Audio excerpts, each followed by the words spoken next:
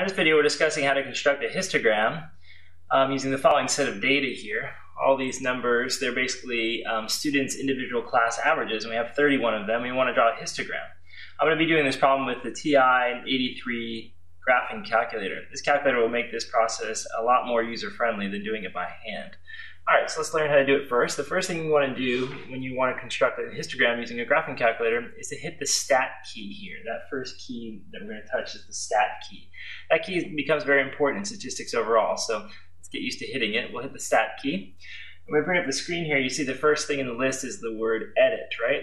The option edit. So we just hit the number one, it'll open up for us, or we can hit enter. Either one is fine. I'm going to hit enter and we have some numbers in that first list. So you can see we have three lists in our screen, and if we go over, we can see more lists. We have usually up to six lists with names, and then there's actually some more lists that are unnamed usually. Okay, so we can scroll back over to where it says L1, that first list, and you can see in mine I have data in it. What I want to do is get rid of that data, so I'm going to go up here, I'm going to arrow up, use this purple arrow to go up to where it says L1, and then I'm going to hit the button clear. When I hit clear, nothing happens immediately except for you might have noticed that that little last row, all the numbers disappeared. What I do afterwards, after I hit clear up there, is I'm to hit this purple down arrow, and when I do that, everything disappears in the list. So we no longer have data in the list, it's empty now. So again, how did I do that? I went up to L1, I hit the button clear, and I push down here.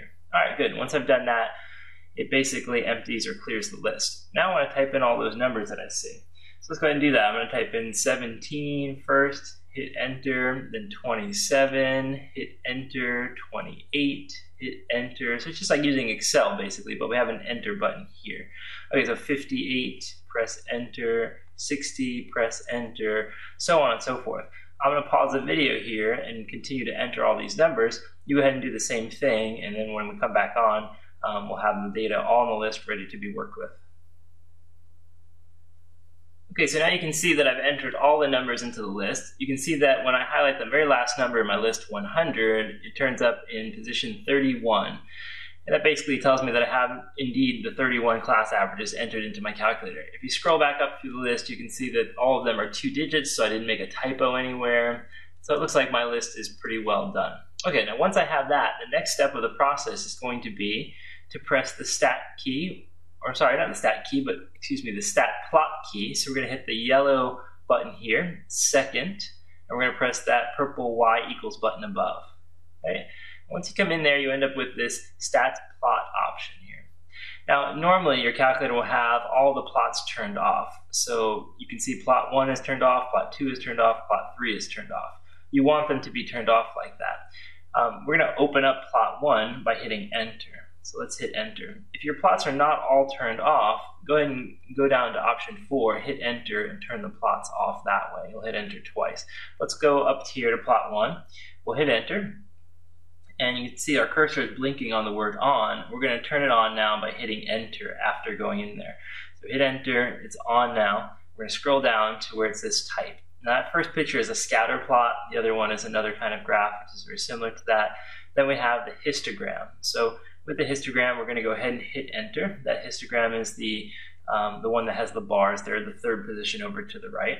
So I hit enter and it's highlighted. Now I'll scroll down to where it says X list. The X list means where did we enter all those data values into the calculator? Do we put it in list one, list two, list three, etc.? So it says list one. If it didn't say list one, let's say it says list two, you're going to print second and hit the number of the list that you entered the data in. So let's say if I had the data in list two, I would second and the number two, and then my data would be in list two.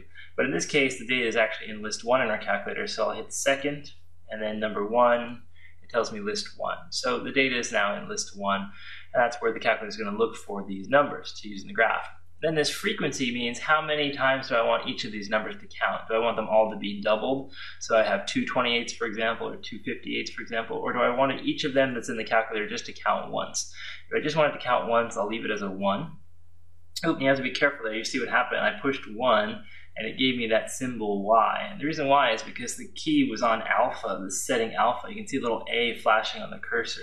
If I type that, if I hit that alpha again, or take it off, I'll hit 1, And there it is. If I wanted to put it back on, I just hit alpha and you see the little A blinking.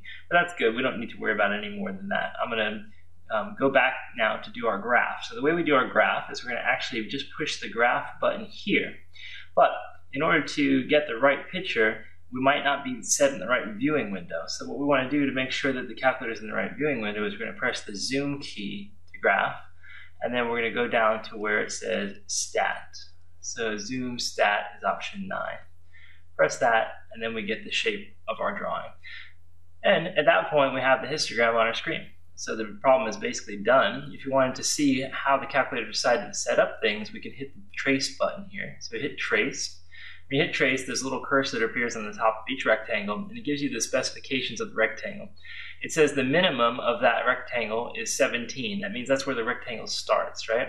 That number there on the left is 17. It says the maximum was 30.8333. Basically, if you subtract those two numbers, right, or if you look at those two numbers, you have essentially what would be um, the span across the category, right? Now, what we want to do next is to arrow over to the next rectangle. That rectangle doesn't have anybody in it, but it's okay because we can see where it starts. It starts at the same 30.833, right, that this one ended at. That one where it says max less than, that's the end of the rectangle. That started at 30.833.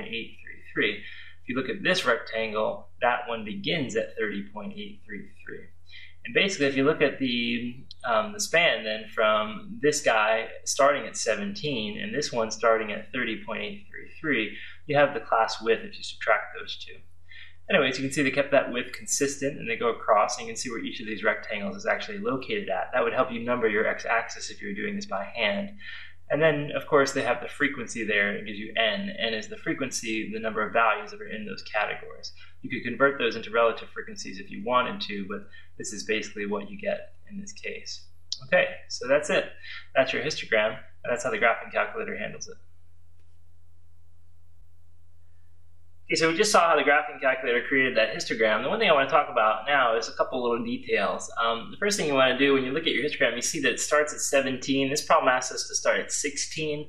Um, we were unable to force the calculator to do that. There's no setting in the calculator will make our calculator begin the categories at 16. So um, really don't have that option here in the, the, graph. It'll basically create the graph that it thinks is best based on what we entered into it. Um, so really don't have that luxury. You also notice that they created more than five classes, right? They used, it looks like one, two, three, four, five, six, seven categories, not five. So again, our graph is different because of that. So, you know, if you're doing a problem on the test where it specifies a specific um, detail to the drawing, if they're not telling you to use a graphing calculator, then of course this would be limited usefulness on a test. But of course, it's still a great tool just for analyzing data if you're doing it by yourself.